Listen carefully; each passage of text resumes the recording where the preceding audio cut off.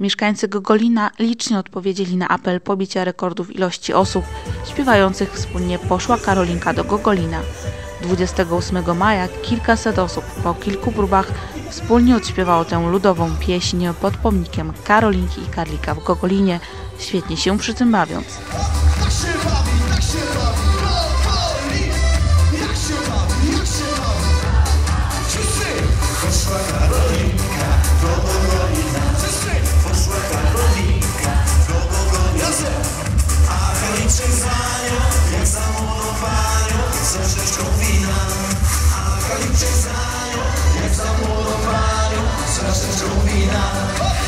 Fajnie mi się śpiewało i muszę powiedzieć, że takiej wersji Karolinki, szczerze powiedziawszy, nie znałam.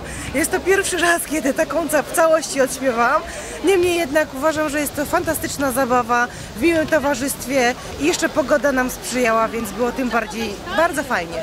Już powiedziała, nie pyta cię chciała, są to przeca wiesz. Dobra, czy Karolinki umieją? Świetnie.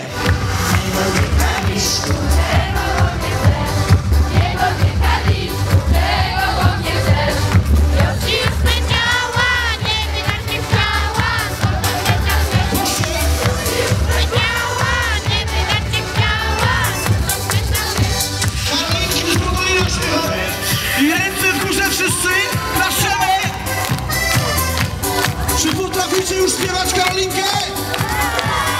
Tak czy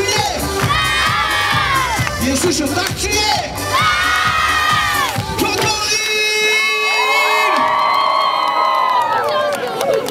Panie burmistrzu, to była ostatnia próba przebicia rekordu. Uwaga, kamery, aparaty, zegarki.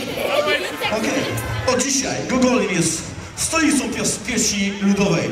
Moi drodzy Państwo, po raz pierwszy bijemy rekord, zegarki, wszyscy nastawione aparaty, kamery. Możemy zaczynać? Startujemy muzyka! Go! Pomachajcie do pociągu! Hop! Głośniej muzyka! Jeszcze, jeszcze głośniej oczywiście, śmiało!